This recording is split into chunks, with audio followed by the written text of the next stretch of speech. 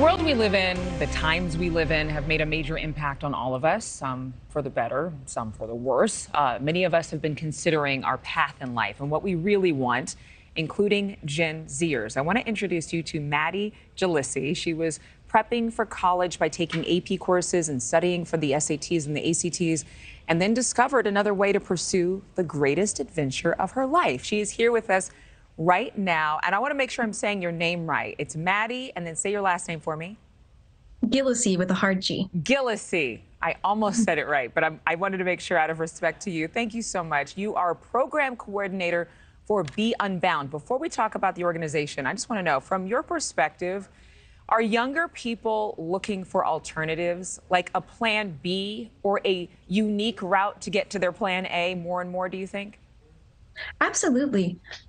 I think that a lot of us are sick and tired of the college narrative being pushed onto us, especially when it's so expensive. Yeah, I mean, obviously it's costly, and then the uh, loan forgiveness program is not looking too promising right now from the Biden administration. Tell us about B-Unbound. Um, so B-Unbound is an initiative from um, Big Picture Learning, and it is um, designed to support opportunities for students to uh, engage in what we like to call real world learning. So, what that looks like is going to an internship or having an informational interview with a professional in a career you might want to do one day. And what was your passion? What what made you decide the open ocean, open seas? So I've always loved being on the water. Um, and my senior year of high school, I transferred to a big picture learning school um, where it was really all like work based. And I had no idea what I wanted to do, but I knew that I loved the sea. And so I thought maybe I should do marine bio. Well, as circumstance had it, I ended up in marine engineering, a career path that I didn't even know existed. And I fell in love. You fell in love. Can I ask you a question? You sound extremely intelligent. You are very articulate. You clearly Thank have you. this decisiveness about you to pursue something that is, again, out of the box. What are you learning about yourself? What are you learning about what really matters to you and about other people? Gosh, you know, I think the number one benefit of everything that I've been able to do is just meeting so many different people and seeing the ways that they lead their lives and seeing if there are lessons that I can take back and incorporate into my own. What do your parents think about your choices? Um, they love it. They're all for it.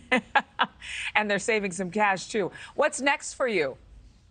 Um, so I will be starting college um, in the fall with the Williams Mystic program. Okay. Um, and I'm so fortunate to be able to do so with um, intention and with clarity. And, and knowing a little bit more about what you want. So, how will exactly. you transform this experience on the water into a viable career? I mean, are you actually looking at maritime industries? Absolutely. Absolutely. I have about 180 sea days as of today, and I'm working towards enough to get my captain's license. What do you wish that people over 50 understood about Gen Zers, about uh, young people in your generation? That we're just like you.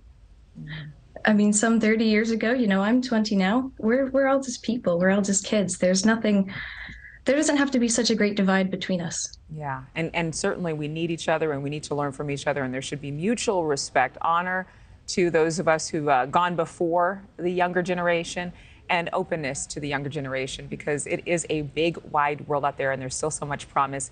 Maddie Gillissie, thank you very much. If you'd like more information on free career exploration tools, visit asa.org. Maddie, we appreciate you being here.